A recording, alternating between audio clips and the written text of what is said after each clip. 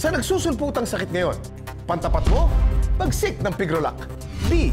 Bigyan ng Pigrolac hog Feeds with immune enhancers, pampatibay resistensya. A. Alisin ang virus at bakterya para iwas sakit. G. Gumamit ng supplement pampalusog. S. Siguraduhin may foot bath sa babuyan. I. Iwasan ang pagbigay ng kanin baboy. K. Kontakin ang Bureau of Animal Industry para sa iba pang impormasyon.